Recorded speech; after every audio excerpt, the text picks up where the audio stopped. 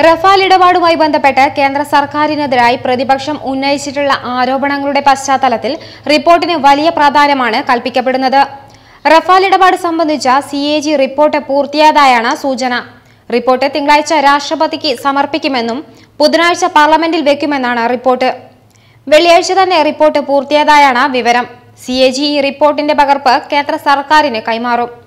ഇതിനു ശേഷമായിരിക്കും പാർലമെന്റിന്റെ ഇരുസഭകളിലും വയ്ക്കുക ഇതിനായി രാഷ്ട്രപതി ഭവൻ റിപ്പോർട്ട് ലോക്സഭാ സ്പീക്കർക്കും രാജ്യസഭാ അധ്യക്ഷനും കൈമാറും.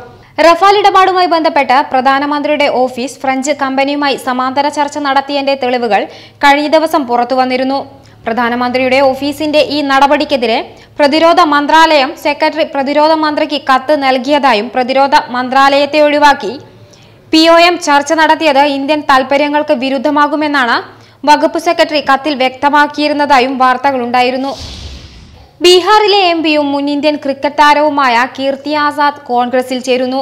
ഫെബ്രുവരി പതിനഞ്ചിന് നടക്കുന്ന ചടങ്ങിൽ കോൺഗ്രസ് അധ്യക്ഷൻ രാഹുൽ ഗാന്ധിയുടെ സാന്നിധ്യത്തിലായിരിക്കും അദ്ദേഹത്തിന്റെ പുതിയ പാർട്ടി പ്രവേശനം. ബീഹാറിലെ ദർഭംഗയിൽ നിന്ന് മൂന്ന് തവണ ലോക്സഭയിലെത്തിയ കീർത്തി ആസാദിനെ രണ്ടായിരത്തി പതിനഞ്ചിലാണ് ബി ജെ പിയിൽ നിന്ന് സസ്പെൻഡ് ചെയ്തത്. കേന്ദ്രമന്ത്രി അരുൺ ജെയ്റ്റ്ലിക്കെതിരെ വിമർശനം ഉന്നയിച്ചതിനായിരുന്നു സസ്പെൻഷൻ. തുടർന്ന് ബി ജെ പി വിമതനായ നിലകൊണ്ട അദ്ദേഹം കോൺഗ്രസിലേക്കോ ആർ ജെ ഡിയിലേക്ക് ചേക്കേറുമെന്ന് നേരത്തെ അഭ്യൂഹങ്ങളുണ്ടായിരുന്നു. ഇതിനു പിന്നാലെയാണ് കീർത്തി ആസാദിന്റെ കോൺഗ്രസ് പ്രവേശനം. ലോക്സഭാ തെരഞ്ഞെടുപ്പിൽ ഇത്തവണ കോൺഗ്രസ് ടിക്കറ്റിലായിരിക്കും. ദർഭംഗയിൽ നിന്ന് കീർത്തി ആസാദ് ജനവിധി നേടുക. മുൻ ക്രിക്കറ്റ് താരമായ കീർത്തി ആസാദ് ഏഴ് ടെസ്റ്റ് മത്സരങ്ങളും ഇരുപത്തഞ്ച് ഏകദിന മത്സരങ്ങളും കളിച്ചിട്ടുണ്ട്.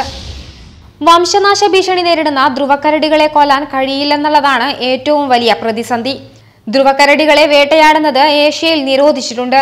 ഡസൻ കണക്കിന് ധ്രുവക്കരടികളുടെ കടന്നുകയറ്റം കാരണം റഷ്യയിലെ നൊവാലയ സെംലാദ്വീപിൽ ശനിയാഴ്ച അടിയന്തരാവസ്ഥ പ്രഖ്യാപിച്ചു.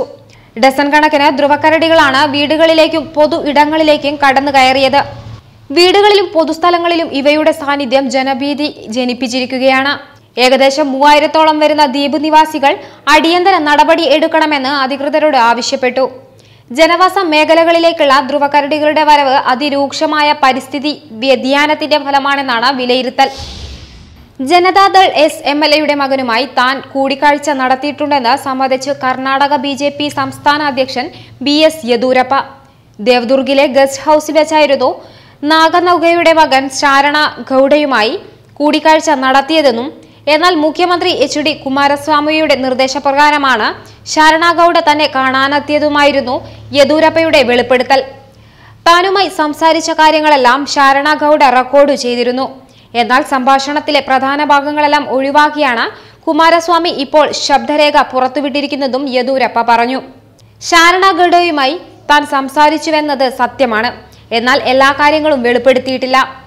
സ്പീക്കറെ വിലക്കെടുക്കുമെന്ന് പറഞ്ഞതായുള്ള ആരോപണം അടിസ്ഥാനരഹിതമാണ്. സ്പീക്കർക്ക് ഒന്നും വാഗ്ദാനം ചെയ്തിട്ടില്ല. അദ്ദേഹം സത്യസന്ധനായ വ്യക്തിയാണ്. സത്യസന്ധമല്ലാത്ത കാര്യങ്ങളാണ് കുമാരസ്വാമി തനിക്കെതിരെ ആരോപിക്കുന്നത്. നേരത്തെ ശബ്ദരേഖ വ്യാജമാണെന്നും ആരുമായും താൻ കൂടിക്കാഴ്ച നടത്തിയിട്ടില്ലെന്നും വാദിച്ച യെദ്യൂരപ്പ മണിക്കൂറുകൾക്കൊക്കെ ശേഷമാണ് കൂടിക്കാഴ്ച നടത്തിയിരുന്നുവെന്ന തിരുത്തലുമായി എത്തിയിരിക്കുന്നത്.